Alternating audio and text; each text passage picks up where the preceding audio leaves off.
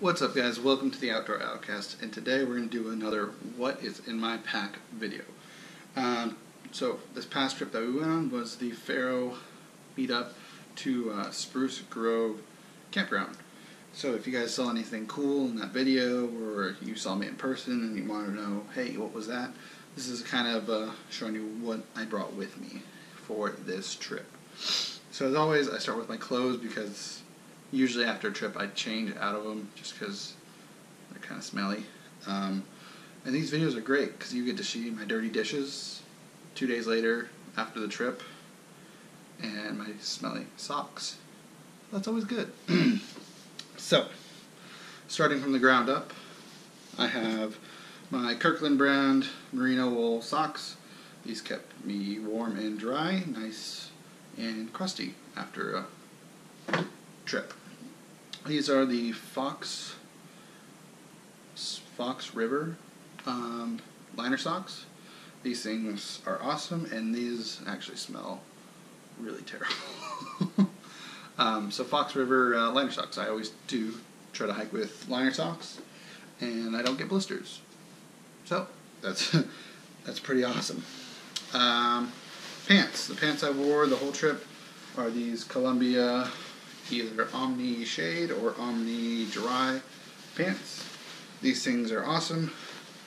They uh, dry out quick. They got a little dirty down by the the cuffs, as always they do. Um, awesome pants. Not much to say about those, other than I did realize a couple trips ago this pocket is is open. I popped a seam. It kind of blows, but I had I tried to have my mom fix it, and she's like, "No, go away." underneath this shirt, I was wearing this um, this Nike Dri-FIT shirt. Got this one at Ross or or Marshalls, super cheap. Um, Nike stuff is pretty expensive. It's nice and bright and yellow for you know being seen in the woods. So that was my undershirt. Plus, I couldn't find uh, my icebreaker merino wool, so that one had to do. And then the Walmart brand top gray shirt that I always wear that I need to get a new color of because um, cause all the videos of me and hiking that shirt, 10 bucks, looks stained, gross, really disgusting. Probably gonna get a new one sometime soon. Oh, I forgot to ask guys. If you guys would like to see a what's in my pack video for every single trip I do, including day hikes, please write down in the comments below if you want to see that. Because um, my thinking was, oh, I'm just going to show you what was in my pack for my backpacking trips. But I, I was talking to some people and they said, no, we want to see the what's in my pack for the day hike. So, comment if you guys want to see that.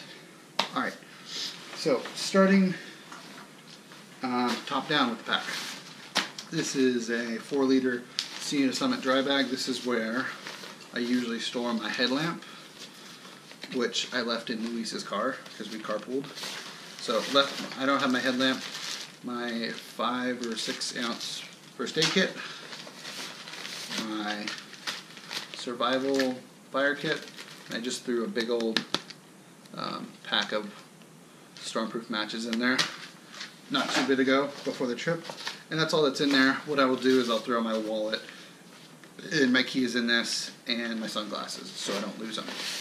So that's kind of like a ditty bag. Ditty bag. That's all in there. Um, going top down.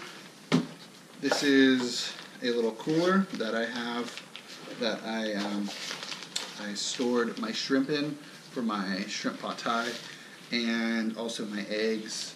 And what I did is I got this knockoff Kirkland brand Gatorade, froze it, and um, nice in the cooler.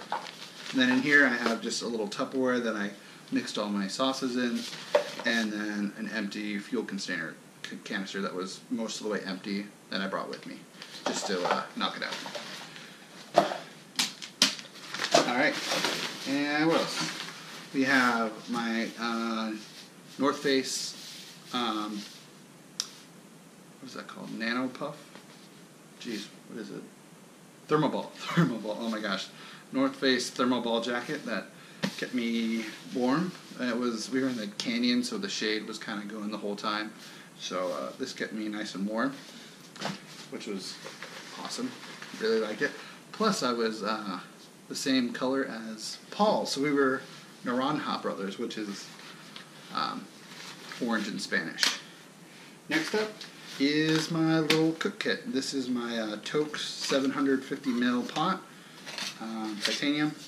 And here I always have a lighter, always have uh, either this bandana or another one um, for my that covers my canister. Just this one was full, this canister was full. I just brought the other one because I brought two stoves, and then just a bandana so that thing doesn't rattle around and I have something to wipe up with. So that was my cook kit. One of my cook kits. Um, here, this was um, supposed to be my lunch for the first day. Um, I brought two of these, but I didn't eat lunch um, on Saturday. wasn't wasn't really hungry. Just kind of snacked, I think. So didn't eat that. Um, so I packed this in for nothing. This also came up to Mount Wilson with us. Didn't eat it up there either. All right, um, trash bag. This is this is what I use for my uh, pack liner. To keep everything dry. Um, and then also at night I I uh, throw my pack in it to get the so no scorpions come out. So brought that with me too. Um, and everything is just kind of in, in mismatch order because we were trying to chuck it all in there to pack up after Mount Wilson because we got back later than we uh, thought. Um, MSR groundhogs, I didn't mean to pack the full size ones with me because um, these are normally what I use for my hammock and stuff. But my tent also has the uh, smaller groundhogs too, which came with my tent. So that was just in my tent bag, so uh, kind of forgot they were in there. So I packed in extra tent sticks that I didn't need, but that's okay. Um, this here is my water system. This is just a uh, little bag I had laying around for my ribs front pack. And um, Sawyer Mini. Uh, you can see right there that is not the stock O-ring. so, for some reason the GoPro stopped recording. And I kept trying to record, but the voice activation that the, this GoPro Hero 5 has uh, kept recording, so that's kind of annoying, but continuing on. So this is my water system. This is a Sawyer Mini with not the stock O-ring. What uh, what you don't do is you don't go like this, oh, to get the water out, like just like that, um, because that O-ring will fly out. That happened a while ago, and those are just replacement for like a regular hose, the O-ring that's in there. Um, this here is just a 64 ounce um, Sawyer bag um, that you tie a string through, pull hole punch with a little carabiner, throw it over a, a, log, a stick, or something, and then that way your bag hangs upside down. Um, this one, I had I had two of these when I initially bought them. They uh, the first one gave out on me, and this was my backup. And this one also is uh, coming apart, and this one was leaking the whole trip. So I could still filter water, but it was definitely not the uh, most ideal situation. So I got to get a new one of those. Um, this is just tubing with one of these Sawyer um, doodads that ta that taps into uh, the top of your water bottles so you can filter um, just like that. So you don't have to stick this inside your water bottles at all. You just have to tighten that to the top, screw that to the top. And then this, the very bottom, is a uh, CamelBak and platypus connector, so quick connect. So uh, that's how you fill your CamelBaks and stuff, which is cool. Alright, continuing on. This is my Sea to Summit Aeros pillow. This thing is nice and comfy, nice and light for something ounces for it. Um, good pillow. Makes makes a difference. I bought it for the hammock and I found myself using it um, on the ground too. Because this was a ground trip. No hammock here. Alright. This um, is for filming. This is a GoPro head strap that I packed in and never used that I meant to use. And I had the opportunity to use it, um, but I didn't use it. Which is kind of stupid because we went on the zip line and I was going to go set the GoPro down that you were, you're seeing right now. And I went to go throw it on some leaves and it cracked the little lens protector. Which was okay because it was 20 bucks to replace, but it's still 20 bucks that I didn't have to spend. So, should have wore that. Plus I packed in the weight. This is another Sea to Summit um, dry bag. This one we've had for years, um, and it is not waterproof anymore, but it's like water resistant. There's holes in it and stuff just from abrasion and stuff. Um, this is what I pack my clothes in. Um, so these are firm grip gloves that you find at like Home Depot. They keep you actually pretty warm, and you can work in them. And uh, we had the fire, so we were sawing and stuff. Should should have probably thrown those on, but didn't. Just just cause. Um, right here, this is my Smartwool top. This was nice at night. Um, I didn't wear it around camp at all. I just uh, went to bed in it and was nice and comfy. Kept me warm. Oh no, I was wearing that around camp in the morning under my jacket. I was wearing that. Um, this is synthetic mixed with wool socks. These are my, they're like loose fitting, and these are what I wear at night to keep my feet warm. These things are awesome. So, and also I can hike in them. I have a clean pair of socks. These are my heavy, thick, um, Smartwool bottoms. I wore these around camp in the morning underneath my Columbia pants, and these are nice and warm too. And took those off before we went on the hike to Wilson. Uh, good stuff. And continuing the theme with orange, um, had this from a hunting trip we did years and years ago. Um, I said, I was like, full heck, I'm wearing all orange anyways. Might as well finish up the top. I just need some orange socks, but orange. And just a just a basic beanie. Um, these are shorts. Probably should have worn these up to Wilson because it was hot in the sun. Um, but I didn't. These are just nice, nice light running shorts. Um, Avia brand. Uh, I always like to just wear, bring shorts. I thought I was going to do some swimming, but never did. And on the very bottom, extra bandana, um, and my other glove, and the dry bag. Continuing on.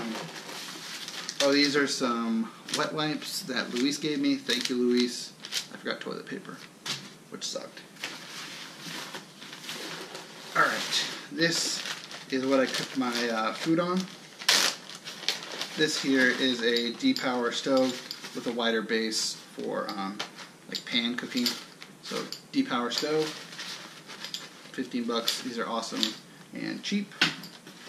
Um, Lexan fork and Lexan spoon. Um, I was cooking with the fork, melted it, so this one is trash. Um, and then spoon's still good. These things are awesome. Um, except they melt. That's the only thing. And, and that's nice because they don't scratch your pants. But they are 58 cents at Walmart and REI. Um, MSR Pocket Rocket. This is what I cooked my noodles on. Um, and stuff like that. I did bring some soap, some uh, Sea to Summit Wilderness Wash. This is good stuff. Um, biodegradable. Use it for body wash and stuff like that too. This here is my MSR quick skillet wrapped in just a cotton bandana and it's still got bacon grease on it. Solid. And so that worked out great. Oh, it's got it's got egg on it still. That's it's real gro- or that's real nice after uh, two days of it in my backpack. All right. Um, this actually goes in that Sea to Summit red bag. I always bring now that it's wintertime just a pair of hand warmers. You never know just in case kind of deal. Got those. Um, right here is my hammock gear, uh, 20 degree underquilt, or top quilt, top quilt. Um, so my hammock gear, 20 degree out, top quilt, 18 ounces. Love this thing. Um, kept me warm. nice and OD green. Solid. 18 ounces for that. Love it, love it, love it, love it. Uh, coming down, continuing with like what I said earlier, we had we were running out of time, so I just threw my tent on the bottom of my pack. This is the footprint for my MSR hubba. No hubba hubba, just one hubba. So there's the uh, there's a stuff sack. There's a the ground cloth and rainfly. And on the very bottom was is the tent body. Cool. So that is the whole inner pack section other than right here I got a three liter zip platypus which that's actually water from the trip that I filtered um, I didn't drink it all going to the to the um, Mount Wilson so I thought I had less than that in there but turns out I still had a lot of water hiking which I could have drank um, on the very outside of the pack the front the front MSR Hubba um, poles, tent poles. Very down in this section, I got some peanut butter that I was going to put in my pad thai, but never did. Uh, Zing-It, about 50-ish feet of it.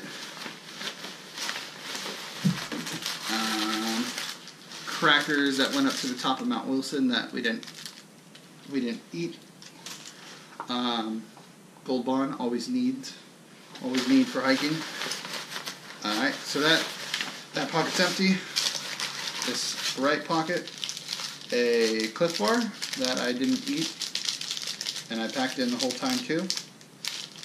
Uh, Clif Clif Block hot uh, shot blocks. These are like the goo shots that you drink. Um, these are just in like a square gummy bear material. Um, they taste good and they give you actually a crap ton of uh, energy. We were hiking up to Wilson and the guy I was hiking with, Donnie, he was getting real tired and thinking about turning around. And uh, gave him one of these, and next I was like, all right, I'll take four to five minutes to uh, set in. And next thing you know, he was kicking my butt on the trail. And he's like, man, I don't know if the trail is either flatter or uh, that block he gave or that thing he gave me worked. So it's pretty funny. Pretty funny how that works. And then on that that side, just a uh, smart water bottle um, to pack in water.